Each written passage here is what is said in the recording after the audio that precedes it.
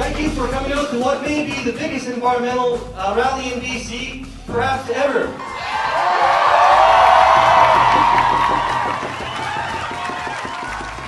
Right now we've got the largest active grassroots movement in the province, calling on the BC government to end old growth logging, to ensure sustainable second growth logging, and to ban raw log exports.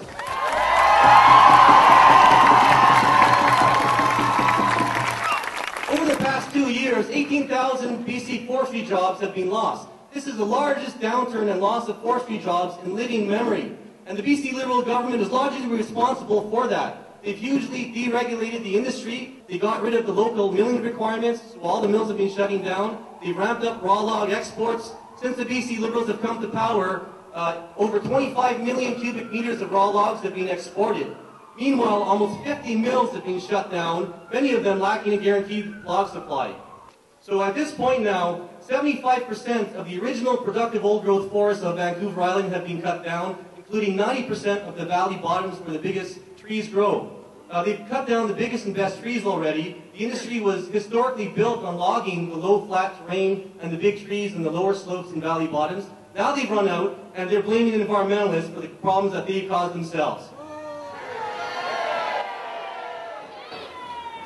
A transition into logging second growth forests is inevitable as the last of the uh, unprotected old growth forests are cut down. We're simply saying that that full transition has got to be pushed along by the BC government uh, through legislated timelines so that we still have old growth forests left by the time that transition is made, not after.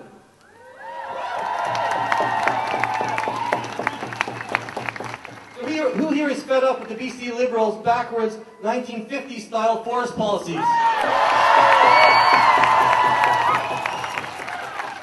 And who here is determined to keep expanding this movement until it hits a fevered pitch only six months before a BC election?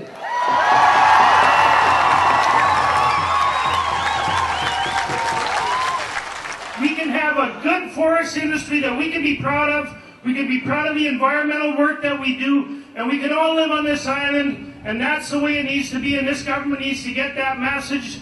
And quite frankly, I don't think they've got it, and we probably need to boot them out and put somebody in here that's going to put the people and the young people in this province first. So thanks a lot, everybody.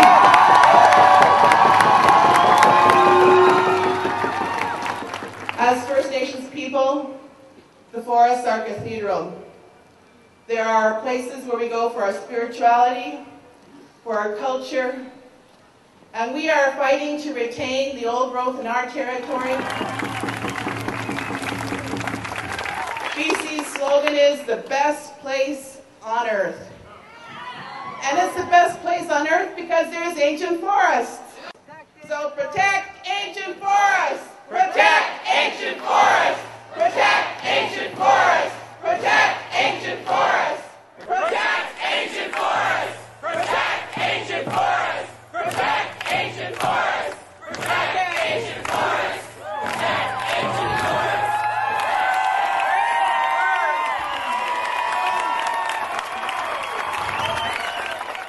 We're human animals.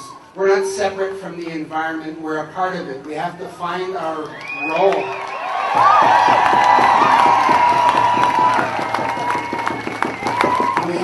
Tap into our creative capacities as human animals. We're not just consumers. We're creators. We at Tla-o-qui-aht, we understand that the forests that we have today are an inheritance from our past ancestors. And we understand that the inheritance that we've received comes with a responsibility. We have a responsibility to manage and steward these forests, not just in the best interests of people here today, but in the best interests of our future ancestors.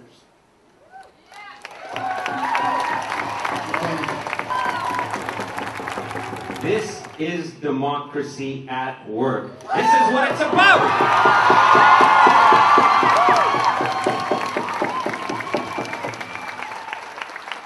Obligation of this government is to listen, not to turn a deaf ear. The obligation of this government is to do exactly what Eli said and start making decisions not for the corporate boardrooms of today, but for the future generations who deserve better than what they're getting right now. Is we stand on the threshold of a fundamental change in our society where they, we are fighting the wrong fight. Wall Street melts down and we're going to bail them out. Why? Because people have bought this nonsense argument that Wall Street creates wealth. It does not.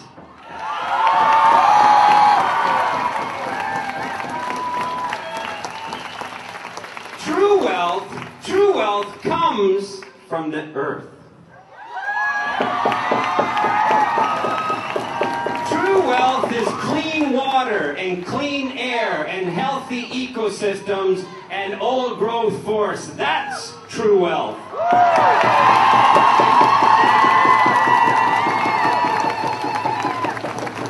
And how on earth, how on earth we can find trillions of dollars to bail out corporations and CEOs who have made bad decisions for decades, bail out banks that have robbed us blind for decades. We can do that in a heartbeat, but we cannot put a bailout package together for the earth. What is wrong with us?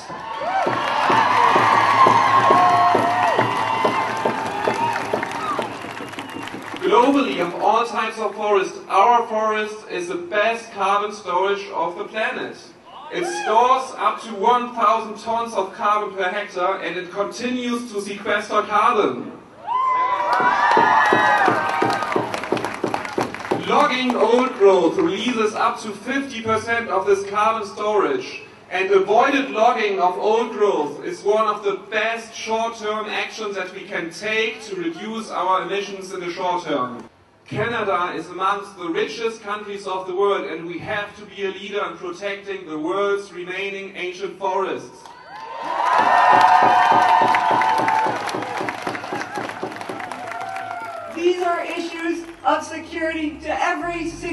Of us, and it doesn't belong in a decision of one person in one boardroom or in one government seat. It is our decision to make for the future, not one person's decision. I want to be proud with Minister Bell. I want to be proud with Premier Campbell. I want to be proud with whoever comes after them.